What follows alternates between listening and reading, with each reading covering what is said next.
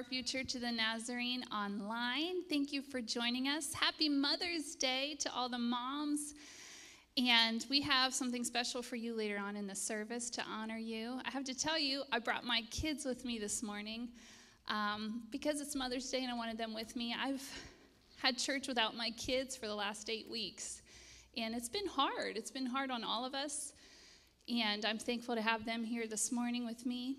I'm thankful to have you joining us this morning and worshiping with us today. I wanted to give you an update. Last week we told you about, we've been telling you about our mission COVID 19, where we are raising money to help support Target Dayton and also our Indian reservation in Arizona. We've almost met that goal. Thank you so much for that. Please continue to give. Will you pray with me this morning? Jesus, we are so thankful for your love and the way that you have blessed us and taken care of us and carried us through this just unusual time that we find ourselves in. We thank you for your peace. We thank you for this church and for Pastor JK and the way that you have been speaking through him to us. Thank you for all the moms. Thank you for my mom, my grandmother, and all the women, my aunts, who have just poured into my life. And I just pray that you would bless them today. Lord God, we just want to worship you. You are worthy of our worship. You are worthy of our time and our efforts and our energy. And we just praise you and we thank you for today. In Jesus' name, amen.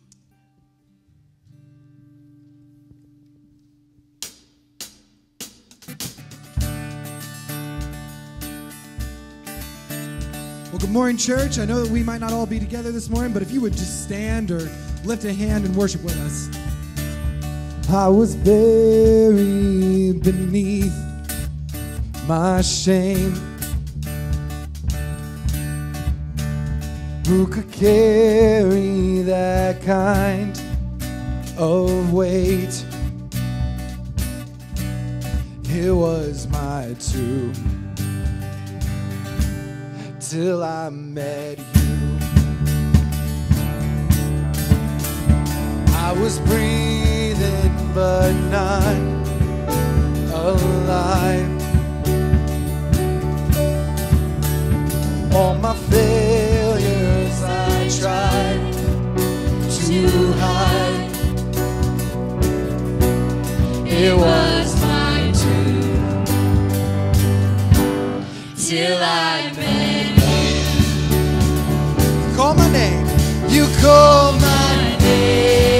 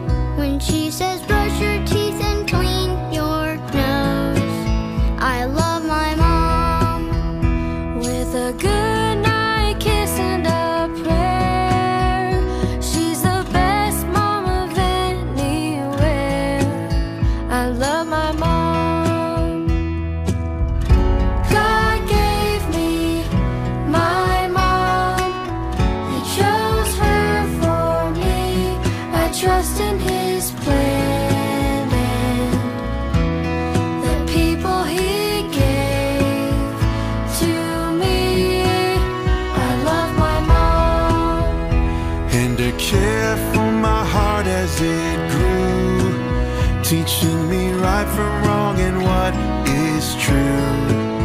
I love my mom. She just. life.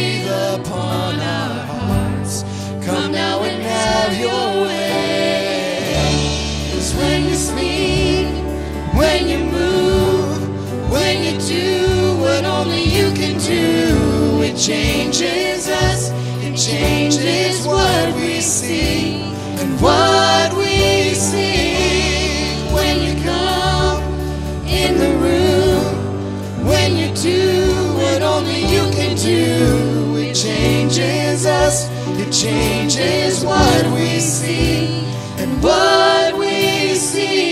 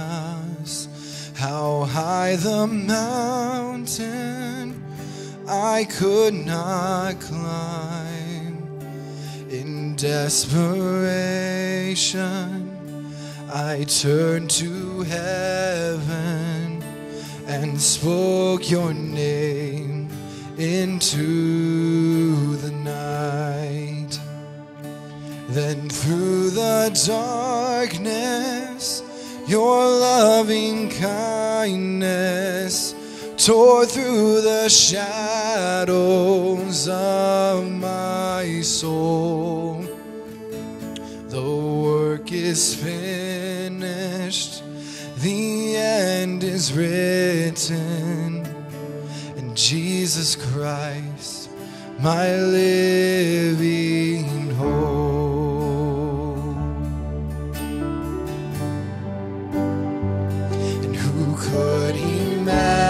imagine so great a mercy. What heart could fathom such boundless grace? The God of ages stepped down from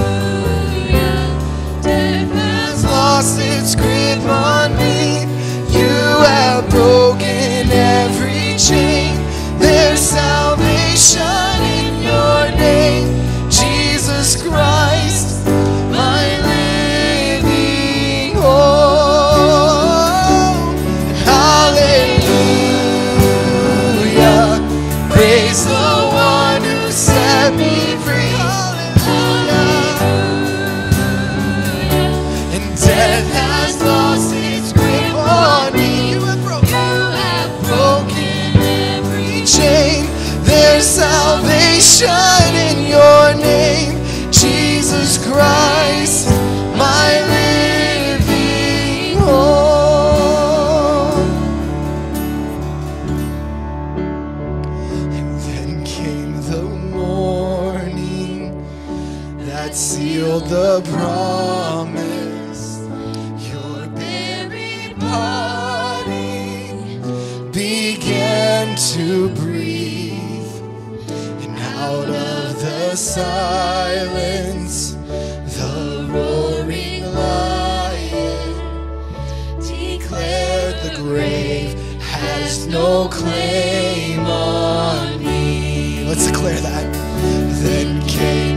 more.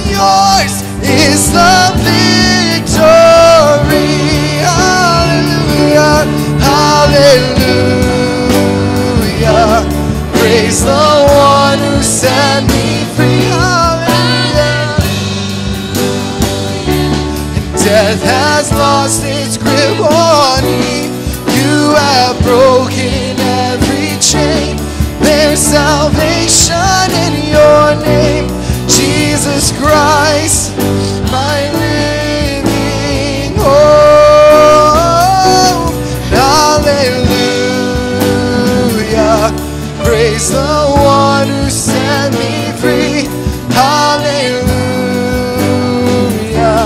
Death has lost its grip on me. You have broken every chain. There's salvation in your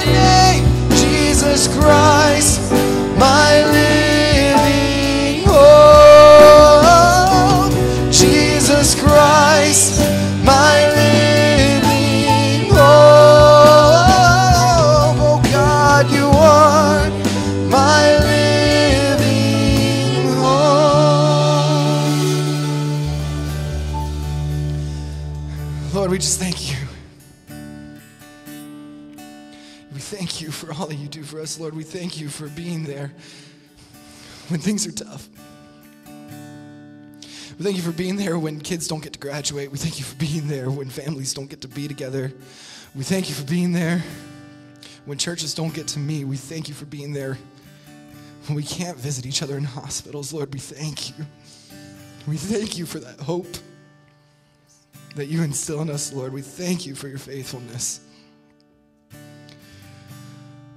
We thank you for sending your son and reminding us that there is life after death.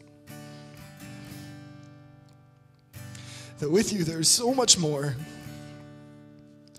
than what we experience on this earth, Lord. That with you there is so much greater than what is right in front of us. For Lord, you are above us and you are watching out for us. And you are carrying us on your shoulders and lifting us up out of the dirt.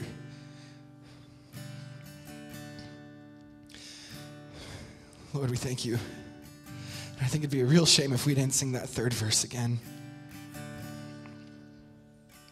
And then came the morning that sealed the promise.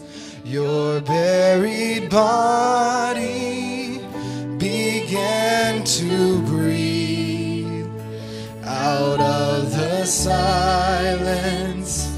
The roaring lion declared the grave has no claim on me. Let's lift this up. Then came the morning that sealed the promise. Your buried body began to breathe. And out of the silence, the roaring lion declared the grave has no claim on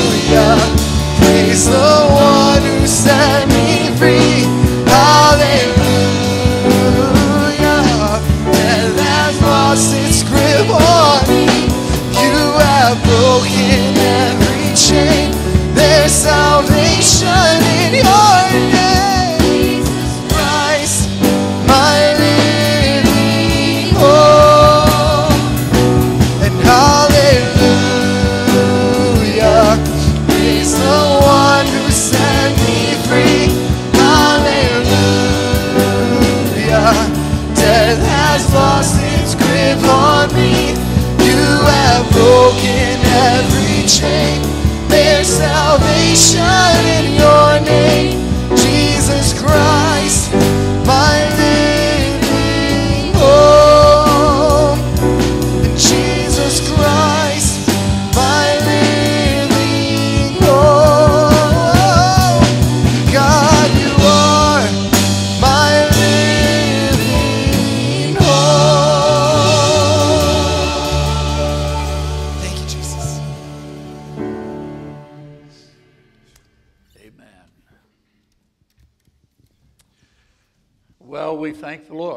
For his goodness and his grace.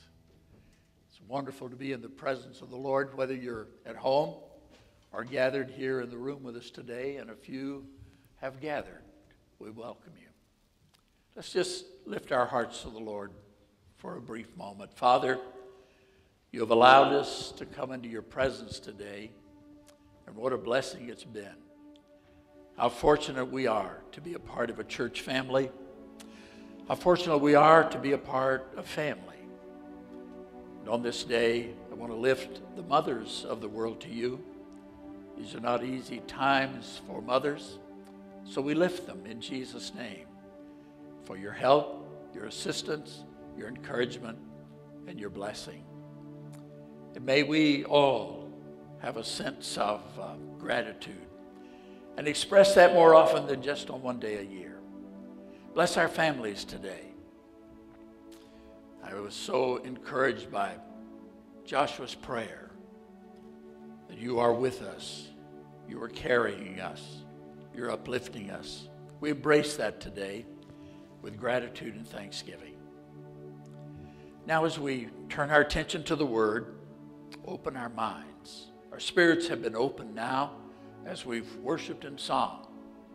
Now, as we worship in the Word, Open not only our spirit, but our mind and our will to receive your word for this day. We ask it in the name of Jesus our Lord. Amen and amen. Well, I want to add my word of welcome to you on this uh, wonderful spring day. Whatever happened to spring? Seems like in the world today we go right from winter to summer, and then we go right from um, summer to winter. I'd like to have some seasons again. Uh, may the Lord grant that desire at least one more time in my life. I'll be happy with that. Well, I'm, I'm, I'm working on this theme of because He lives between now and Pentecost, the 50 days. Uh, actually, 40 days that Jesus appeared to his disciples, and then 10 more days they waited in the upper room for the outpouring of the Holy Spirit. So this morning, I want us to think together about uh, this idea of the risen Christ and what that means to us. You've heard me say this several times. I don't know how long I'll be here. They may throw me out any day, but um, as long as I'm here, I'll be saying this that our God is always up to something. And our God always has a plan, and our God seldom works alone. Those are three fundamental things I've come to believe about God, and they, they really shaped my philosophy of ministry and my understanding of the church. In, in uh, 2 Corinthians chapter 5, verses 18 to 20, we read these words, and, and we see all three of these elements here. We see God being up to something, we see uh, God with a plan, and we see God working with others. So here's 2 Corinthians God gave us uh, the ministry of reconciliation, uh, namely that God, here's what God was up to that God was in Christ reconciling the world to himself, not counting their trespasses against them. That's what God is mainly up to, reconciling the world back to himself. And he has committed to us, seldom works alone in his plan, he has committed to us the word or the message of reconciliation. In other words, God has, his plan is to give to us this message of reconciliation. Uh, he's not going to send angels. If I'd been God, I would have sent angels. That would have been more effective and uh, a lot easier to do than working with the likes of us. But God determined that uh, his plan is to commit to us this word of reconciliation. Therefore, we are ambassadors for Christ as though God were making an appeal through us. That's uh, God seldom works alone. He's not making that appeal by himself, He's making that appeal through us. We beg you on behalf of Christ, be reconciled to God. That's the way God works. The plan of God, the activity of God, is to reconcile a lost world back to Himself. The plan of God is to release that, that into the hands of His people and he entrusts us with this great responsibility I'm amazed at that. Now, He did send the Holy Spirit to help us, but I'm amazed that God chose to do it in this way. So, this morning, I want us to think about the church. There, there are several things that happened immediately. And the first was that because Jesus lives, we have a prayer. And that's the prayer in John 17 that we would be kept. Because Jesus lives, uh, we have a promise.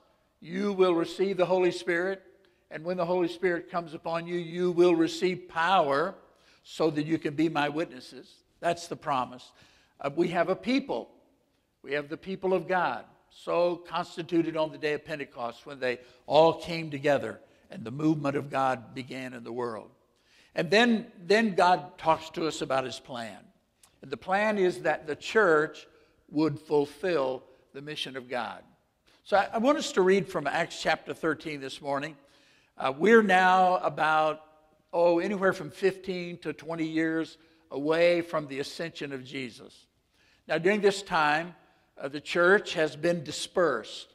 Persecution rose rather quickly in the city of Jerusalem, so the church was sent out, not, not feeling like they were on a mission, but dispersed because of persecution. So they're, they're moving here and there, and they're going to different places. Uh, Philip has preached to an Ethiopian eunuch. Peter has already preached to the household of Cornelius, and Gentiles are being saved. When that happened, the church was concerned about that. It's a terrible thing to get the wrong kind of person saved. So they had to have councils and to discuss that. During this time, uh, Saul uh, has been persecuting the church and has been converted and has now gone to Arabia and then back to Tarsus for some reflective time and to, to regroup himself for the ministry to which God has called him. The Bible says uh, in Acts chapter uh, 12 that they were preaching, the people from Jerusalem were preaching in Antioch, but they were preaching the word to the Jews only. It's pretty exclusive. Um, now, as I said, we're 15 years after the ascension of Christ and the outpouring of the Holy Spirit. Sometimes when you get impatient with your, your friends in your local church, grant them a little grace. It took the early church a long time to work through some issues, uh, trying to overcome some traditions and some things they'd been taught as children. The fact that we have a pure heart does not mean that we have a mature character. So give people a little space. Be patient with them as they try to work through this. So they're preaching only to the Jews, and Barnabas comes, and Barnabas starts preaching to the Gentiles. And then he goes and gets Saul and brings Saul back. So here we are at this time. So now there were at Antioch, and Antioch was quite a large church. It wasn't a little house church. Now there were at Antioch, in the church that was there, prophets and teachers. Uh, let's see, there was uh, Barnabas. That's the Barnabas we read about in Acts chapter 4, who sold some land and gave it to help others. So he was evidently a man of some means, but now has become an evangelist. Maybe he was in the upper room. We, we really don't know. So we have Barnabas and Simeon, who was called Niger, and Lucius of Cyrene, and Manaen, who'd been brought up with Herod the Tetrarch, and Saul. Uh, quite an eclectic group. In fact, this was a multicultural group, the first multicultural expression in the history of the Christian church right here in Antioch, which became the center uh, and, and the home base of Christian missions. So while they were ministering to the Lord and fasting, the Holy Spirit said, Set apart for me Barnabas and Saul for the work to which I've called them. Then, when they had fasted and prayed and laid their hands on them, they sent them away. So, being sent out by the Holy Spirit, they went. So, so here you have the church sending, but these who are sent understood that it was the Holy Spirit who was sending through the church. That's God working through his people. So, so they went. So the church is uh, drawing near, ministering to the Lord. Before a church can go anywhere, a church has to come near to the heart of God. No other way to do it. You, you can't develop strategies and programs.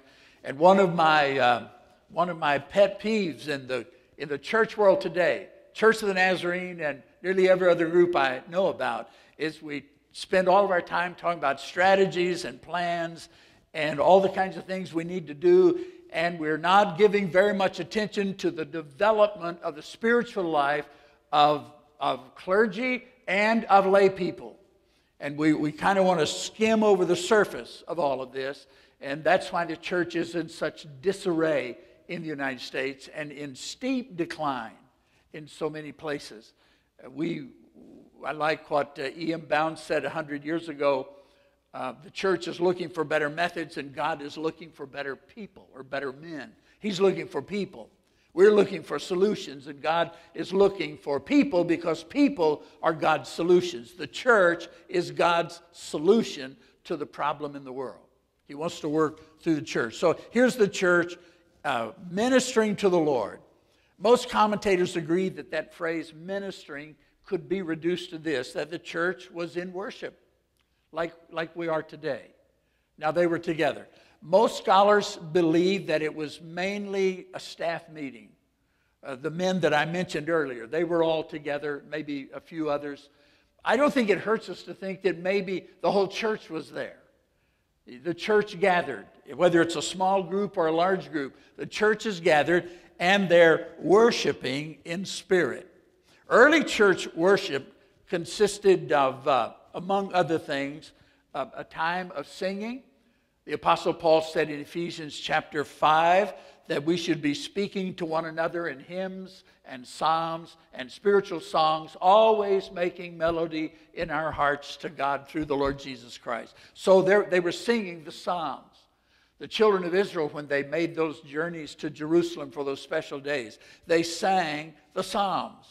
Uh, we need to put more of them to music. We have some but they sang the Psalms, and God anoints His word. So there would have been singing. There would also have been a time of reading of the Scripture, and then over time there developed the exposition of the Scripture, the preaching aspect. It wasn't present immediately, but it developed over time. And those early church gatherings in, included a meal. You'd think it was the Church of the Nazarene and a potluck. I mean, they love that sort of thing. They ate together in remembrance of Jesus' Last Supper with the disciples. Now, my wife would have called that the Last Dinner, but I call it the Last Supper. We have, I have supper at house, our house. She has dinner because I think if supper was good enough for Jesus, that's good enough for me too. But she, she likes to improve on it. So, the Last Supper, they celebrated the Last Supper, and then they would celebrate the Eucharist or Holy Communion. Because Jesus had supper with his disciples, and then he took the cup, and then he took the bread. So it wasn't a part of this dining together, it was something after. And those were some of the main elements. There were other things that developed over time, but those were the main elements of worship. So they're, they're worshiping in spirit. There's some things that were true about that early church that must be true of any church that wants to draw near. And the fact is, the church has to pray. And, and we, we, do, we don't do a lot of praying. We do a lot of talk about praying. Uh, we know all the right things to say about prayer. And often when we get together to pray, we spend our time singing or testifying, and we really don't, don't pray. Um, we're, we're going to work on that. There, there should be designated seasons and times for prayer in the life of every church. Praying is a priority. It's not secondary. It's not let's do this and pray that God will bless us. It's let's pray and find out what God wants to do and then do what he wants to do. So we first pray. So they're, they're praying, they're waiting on the Lord. Now we use prayer in a lot of, uh, a lot of strange ways. Jesus gave us a pattern to pray. Not, not that we have to use the words, but I think he intended for us to take the pattern. He said, When you pray, say, Our Father who art or which art in heaven, hallowed be thy name. So he says to us, if you're going to pray, you start first of all in worship. I, I brought my, my cell phone with me today. I, I have a prayer list on my cell phone, and here, here's the way I begin uh, my, my times of prayer, uh, every day as I pray, a season of adoration. And here's, here's what I've written about God over the last several months God is an incredible, ever present love, unending, transforming grace, undeniable, unchanging truth, unfailing presence, unlimited compassion and loving kindness, new every day. Ever present Holy Spirit, unfailing forgiver of our sins, unsurpassed giver of new life, sanctifier of our lives, unfailing guide and teacher, healer and restorer, mender of broken hearts, eternal light for every day, peace in the middle of unrest, hope for every new day, calm in every new storm, courage in the face of every fear, consolation in every disappointment. And I confess that to, to, to the Father. I, I worship Him in, in saying what I believe about Him and what I feel about Him. And in my time of confession, I not only confess my personal needs, but I further confess that He's my highest love. He's my greatest joy. He's my deepest need, my longing, my hope, my strength for the day, my courage for challenges, my reason for living, the desire of my heart, peace in the storm, my rest in confusion. I, I think, it's, I think it's so important for us to have a, a way of coming to the Father. Our Father, which art in heaven, hallowed be your name. Let me confess who you are and let me worship you uh, for who you are, not for what you do, but for who you are. So they were praying, and I think they were praying in that way. Then, then Jesus said, You need to pray that your, your kingdom come, your will be done on earth as it is in heaven. Uh, I know some people believe that you should tell God what you want, and if you have enough faith, He has to do it. Jesus said, when you pray, acknowledge who God is, and then say to the Father, everything else I say after that, this is qualified by this Your kingdom come, your will be done on earth as it is in heaven. So, whether that's what I'm going to ask you to do or what I want you to do, I'm going to, I'm going to express my desires, but I surrender it all right now. I don't think that's a lack of faith. I think that's an act of obedience and a statement of faith that the will of the Father is absolutely the best for all of us. Your kingdom come, your will be done on earth as it is in heaven. And then you can ask Him for, for your daily bread, your daily substance and sustenance. And then, then you can ask Him to to not lead you into a place of temptation. You can ask Him to forgive your trespasses. These are all things that we need to confess. And then close our prayers with worship and adoration. For thine is the kingdom and the power and the glory forever. Amen. Amen. They were, they were a praying church. When we learn to pray like that, we, we more closely align ourselves with the plan of God and the purposes of God and the heart of God. If all of our praying is telling God what to do, then what we're saying is, My will be done on earth, and let it be done in heaven as well. That's not a good way to pray. Your kingdom come, your will be done on earth as it is in heaven. That's not to say we don't tell him what we want, what we need, but we surrender it all to him. So they were praying, and then they were fasting. Fasting is something of a, of a lost art or practice in the church. I love those three things that Jesus, uh, in the Sermon on the Mount, said he just assumed that every one of his followers were do. Uh, the first one, oddly, was when you give, which really seems strange to me that he'd start there. But when you give, here's how you ought to give. And when you pray, here's how you ought to pray. And when you fast, not if you fast, not if you give or if you pray, but when you do these things. What Jesus was doing was outlining his, outlining his kingdom on earth. And he's saying, These are practices of those who are part of my kingdom. So they were fasting. And then uh, the Bible tells us they were listening. It doesn't tell us that, but it insinuates that because the Holy Spirit spoke. And when the Spirit spoke, everything else was off the table. Everything else was off the table. I don't know. I, I believe that God still speaks. I believe God speaks to lay people as well as clergy.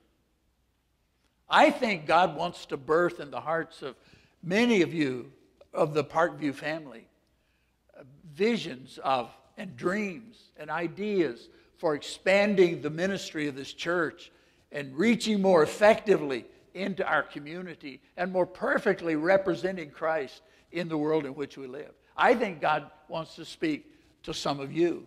You don't have to defer to the clergy to find the will of God. God can talk to us individually, corporately and individually. And when the Lord speaks to me, most often I like to, to get with some people and throw that idea out on the table because I don't understand perfectly all the time what God wants to do. And sometimes my own desires get mixed up with God's desires. So I need someone to help me work through that.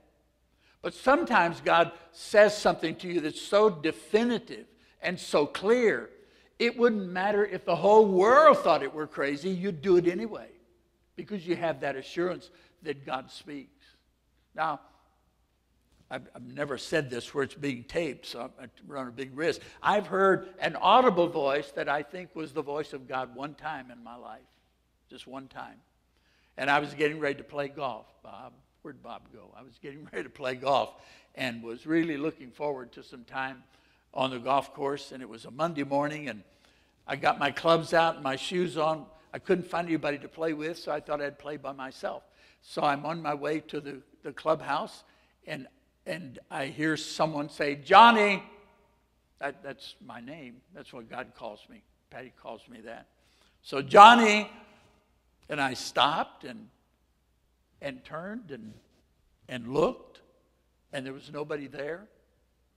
Uh, have you ever been in a, those of you who are parents, have you been in a, a shopping center sometime and, and you, your kids are grown and gone, and someone says, Dad, Mom, and you stop and turn? Because you that word just catches your attention. Well, that's, that's kind of what happened. So I didn't see anybody, so I, I went on, and Johnny, and I turned again and stood there for a few moments. And the voice, whose ever voice it was, said, Go to the hospital.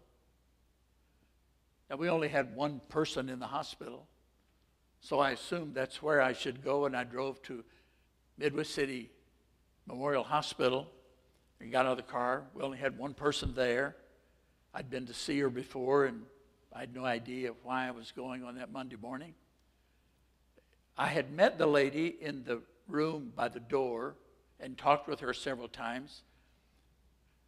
I walked in the room, and this lady was weeping. The lady that was not a part of our church. And she said, Pastor, I've been praying that you would come today. And she gave her heart to the Lord that morning. I don't know whatever happened to her. She was not from the city where we live, but she was not there the next time I went back. But I thought, what if, what if I hadn't been listening? What if I'd ignored how often do we ignore the nudges of the Holy Spirit? And how often do we as a church shut God out of our worship experiences? We have an agenda. We have things we have to get done. We're on a timetable. I'm not even going to finish this sermon today. I'm about to run out of time right now. But we're, we're, we're just pressed, and so we, we don't have time for God to interfere with what we're doing. We're doing God's business for crying out loud. Let us get the business done, then you can talk to us. And so we rush on. There were several times when I was pastoring in Olathe, Kansas College Church, when during a song or, or at a particular time in the service, I sensed the, the Spirit of God moving. And I would step to the podium and ask our minister of music to lead the choir in that again, or let's sing that chorus again. I, I feel like God is moving. I don't know. Maybe He's not. Maybe it's just me. And most of the time when that happened, people would begin to come forward. And those services ended with me sitting on the steps of the platform, just watching God do what only God can do. Aren't we hungry for that sort of thing? I'm not talking about a, an emotional, I'm not talking about that at all. I'm talking about aren't we hungry for a moving of the Spirit of God so that we are different when we walk out of the sanctuary than we were when we walked in the sanctuary? Even if we've been Christians for a long time, aren't we hungry for something like that? This is, this is the church worship, worshiping in spirit. Well, I'm not, I'm not going to try to, I'll pick up here next week. Praying, fasting, listening. God is up to something. You know, there's no reason in the world why I should be standing here today.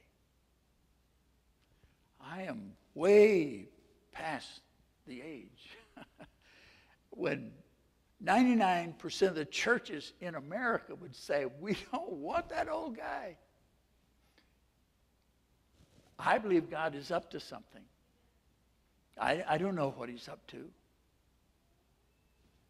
Um, a church that's, that's had its struggles in the past. It's wrestled with different kinds of issues and challenges. It's, that's who we are.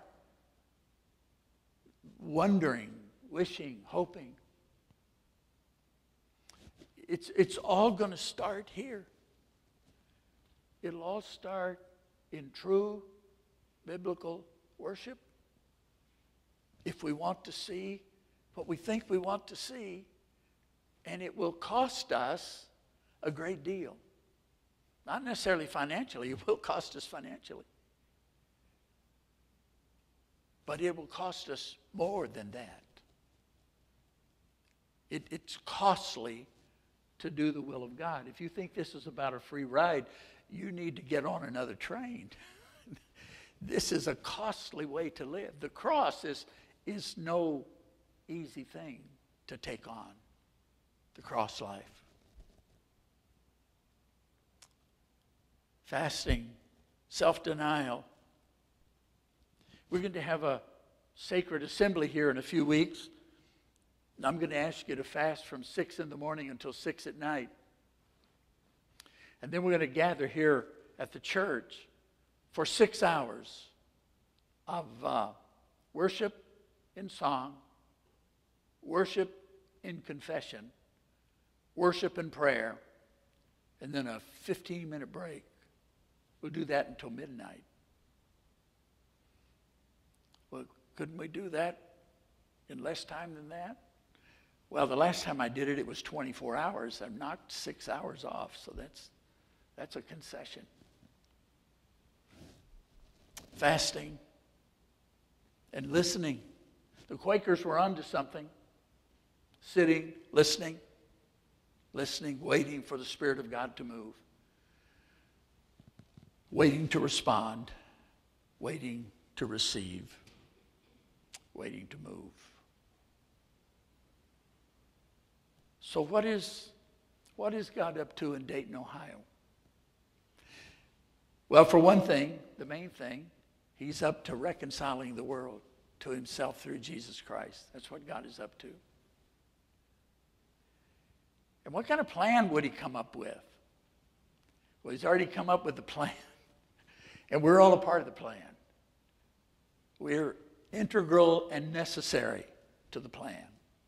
He doesn't have an, he doesn't have an alternative plan. If we don't do it, it won't get done. I mean, if, if the people of God don't do it, it won't get done. That, that's just as simple. It doesn't mean any particular church, but the people of God, if we don't do it, it won't get done. And if we're going to, if we're going to get it done, we're going to have to draw close to Him. Close to Him. So, what does God have for you? I'm kind of puzzled about what He has for me, but what does He have for you? What, he wants, what does He want from you? What is your role? And some of you say, Well, Pastor, I'm retired. Well, get over that. So am I. That, that won't wash with me. So don't, don't even come and talk to me about that. Well, I have, there, there are mitigating circumstances, I know. But what is it God wants from you? God works in the context of who we are and where we are. He doesn't expect us to do something that we can't do. He may ask us to stretch ourselves, but whatever He asks us to do, He's already equipped us to do. So that's, that's just the truth. What does He have for you? And what does He have for us together? Well, next, next week I want to talk to you about the church and worshiping in action because worship is not mainly here. This is a refueling on a Sunday morning. Worship is out there every day. We'll talk about that next Sunday morning. Josh is going to come and uh, he's going to uh, sing a closing song, kind of an invitational hymn. And there are a few people here in the sanctuary who, if they wanted to come and pray, they certainly could.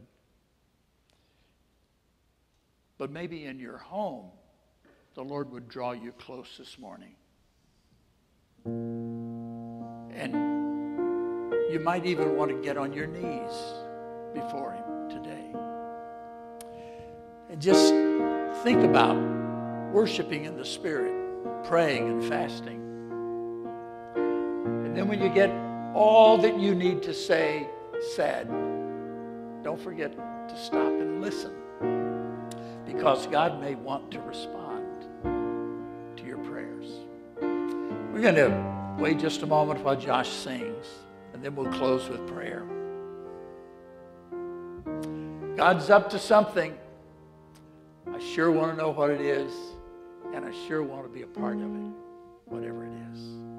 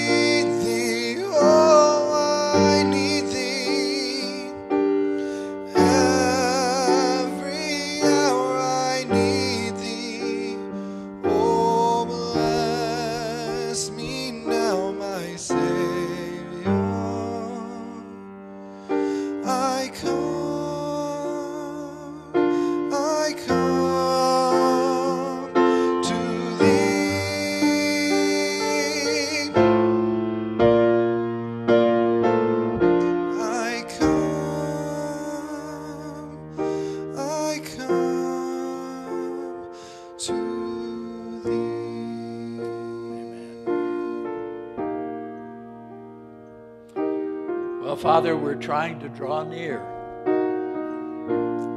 So many things that hinder us, we need to lay them aside. Teach us how to do that. Help us to learn together. We need you, not just a couple of days a week. We need you every hour and every tick of the clock. We need you. And I confess to you, Father, this morning that I'm available. I'm listening as best I can. Over these last couple of years, you've been taking a lot of things out of my life that complicated my hearing. And I thank you for that. So, in Jesus' name, we together, those of us in this room and those of us in our homes, we together offer ourselves in worship to you, waiting, listening for your voice. And our commitment is we will be obedient. I pray this in Jesus' name, amen. God bless you, brothers and sisters. Have a good week.